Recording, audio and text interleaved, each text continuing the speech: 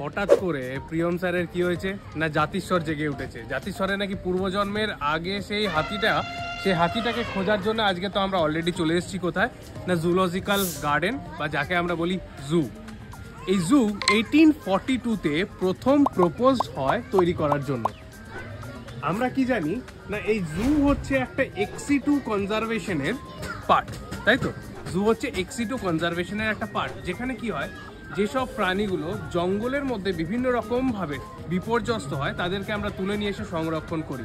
Already পড়েছি আমরা এক্সি two conservation চলো আজকে দেখে নেওয়া যাক এই এক্সি টু কনজারভেশনের ভেতরে কি কি ধরনের প্রাণীদের আমরা দেখতে পাই।